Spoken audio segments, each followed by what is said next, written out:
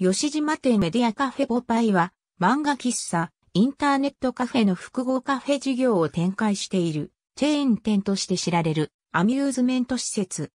2000年にレンタルビデオチェーンを展開する広島県の5社の3社、ジュゲムを展開する株式会社、荒木、ムービータイムを展開する株式会社タイムスによってグループ展開により広島県で始めたのが発祥。参考が漢字企業となり、各地域に展開する店舗は別々の資本企業によって運営されていた。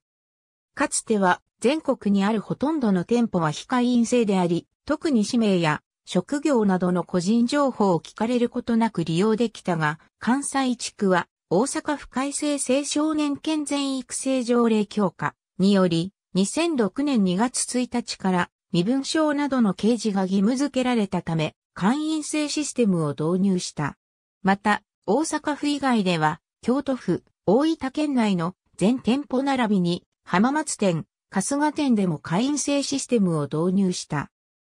さらに一部店舗が加盟している日本複合カフェ協会では、会員制度の採用の努力義務がガイドラインに盛り込まれていることもあり、2008年4月1日から順次株式会社参考株式会社荒木株式会社柿田の3社が運営している全店舗及び株式会社吉光が運営する一部店舗で会員制システムを導入し、全国にあるほとんどの店舗は会員制となったが、現在は日本複合カフェ協会加盟店舗、東京都内の店舗など一部を除き、再び非会員制となった。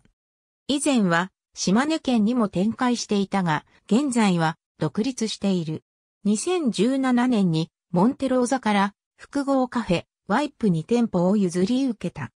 2020年10月に漢字企業であった参考とその子会社であった柿田が広島地方裁判所から破産手続き開始決定を受けたが、参考と柿田が運営していた店舗以外の運営は独自に継続する。店舗によってサービス内容は異なる。店舗数31店舗。ありがとうございます。